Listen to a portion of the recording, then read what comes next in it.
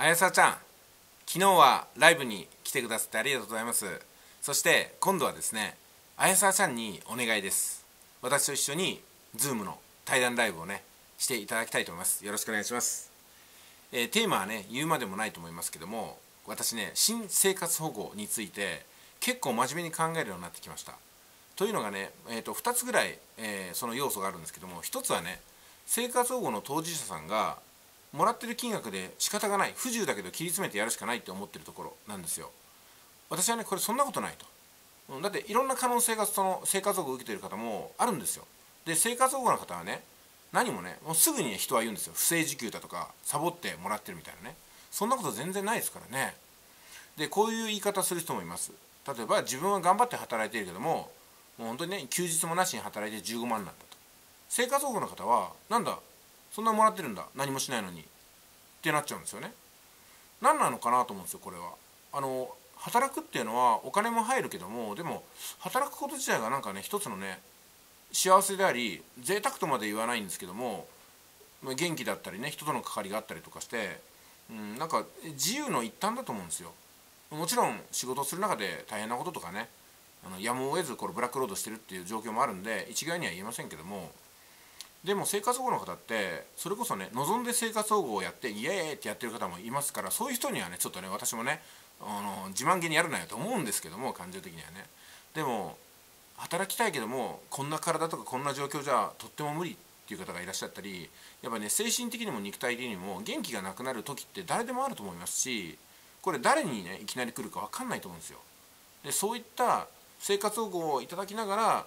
目立たないようにつましく暮らしてる方に対して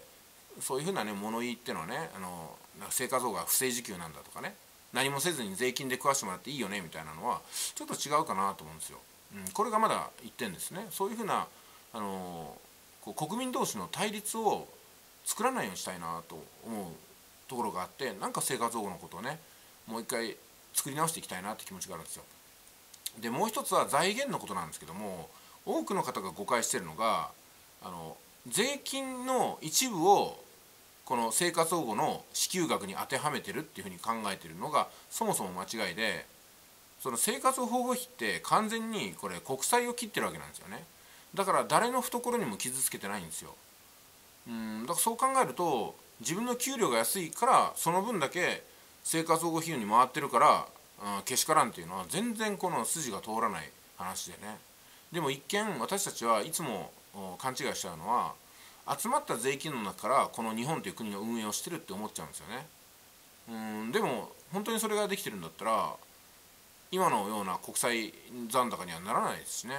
だからやっぱりこれも違うんだろうなと思うんで生活保護の問題を考えながらこの財政とか財源とか経済っていうね大きなマクロっていうんですけども大きなあお金の流れもちゃんと学んでいかないと自分のお金が誰かに取られてるっていう風なねこういう風な感覚になっちゃうんですよ。うんまあ、だからそういうのもねちょびっとずつやっていければなと思います。まあまっすぐ言えばこの MMT をもうちょっと深掘りしていければ生活保護にももうちょっとねあの余裕を持った、うん、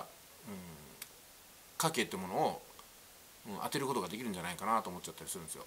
まあ、いずれにしましてもねこの生活保護が今までのままでいいことはないと思います私は。まあ、ですんであやさちゃんにねいろいろ私も教わりたいと思ってるんですよ。私はとりあえず生活保護に対して理想論を言います他の人の立場とか都合とかもう全く何にもなしでとにかく生活保護を受けてる方が健康で文化的な暮らしを送るためにはじゃあ健康で文化的な暮らしって何だと。これをやるのは果たして特別で贅沢なことなのかとかね。月に1回美術館に入場料800円払っていくのは贅沢なんでしょうかとかね。本当にねそう思うんですよ。なのに生活保護の人があのたまにはね絵でも見に行こうかしらって言ったらちょっとざわついたりそんな雰囲気しませんかってことなんですよ。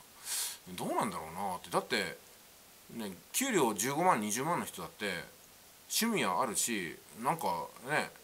それ何意味ないないじゃんみたいなのも買ったりしてると思うんですよ。でそれはもちろん自分で働いてから自分で使って当然だろって言えばそうなんですけどもなんかねその一人の人の権利としてそのお金をどういうふうに自分のポケットに入ってようが犯罪でない限りは堂々と使ってもらいたいなと思うしあと健康で文化的な暮らしっていうふうに憲法に書いてあるんだったら憲法の通りに、えーまあ、行政の方はね憲法を守って私たち国民に執行する義務があると思うんですよ。憲法っていうのは国民に対する約束ではなくて、えー、権力者に対する約束ですからね。だから健康で文化的な生活を送るっていうのは、えー、むしろその生活保護の支給を決める人の責任だと思うんですよ。受け取る人のことではなくてね。まあこういうのもいろいろと紐解いていったらちょっと興味が出てきましたんであのちょっとおせっかいかもしれないんだけども生活保護のことをねちょっとあやさちゃんに教わりながら、えー、まあ本当にね妄想でこんなこと考えても何も進まないと思いますけども、うん、新しい生活保護制度っていうのはデザインしていきたいなと思うんですよ。そしてこれが終わったら一般労働者のそもそもの報酬っていくらぐらいが適正なのかな適正なのかなと。コンビニのバイト料ってその金額でいいのかなとかね。でそうなってくるとコンビニの経営者の、えー、家計事情も見ていかないといけないしそうなったらロイヤリティっていうものが果たして適正なのかなっていうふうにどんどん問題は個人のところからどんどんどんどん大きくなっていってじゃあ元にある国のじゃあ税率とかあ財政論っていうのがそもそも見直されないと国民の暮らしは豊かにならないよねってことで麻生財務大臣に行くわけですよ問題が。だから私はね麻生財務大臣が本当にね何やってんのって思うのは何でかっていうとどんどんどんどん積み上がっていくんですよね企業経営とか家計とか地域とかあ独立行政法人とかね。あ違うなんだ。地方公共団体とか。えちょっとねぐだぐだっと話しちゃいましたけども。まあとにかくねあの生活保護に関してのちょっとね、えー、テーマをいくつか考えてますんで、えー、あやさちゃんにねこう教わりながら私にねぜひね勉強させていただく意味でそして視聴者さんにも生活保護に対してまた新しい視点を持っていただきたいかなと思いますんでお願いできればなと思っております。じゃあよろしくお願いします。なんか何言ってるのか分かんないところも一部ありましたけどね。そこは優しいあやさちゃんの心が好意的に解釈してくれると思いますので 何の心配もしてません。ちょっとねあやさちゃんはおしゃべりトークがものすごく上手になっちゃったんであの対談をしてね私が圧倒されるんじゃないかなと思いますんで、え、なんかびっくりするところがあると思いますけどね。まそれも込みでやらせていただければと思います、えー、それではあのこの動画を見終わったら返信いただければ幸いです。いってらっしゃい。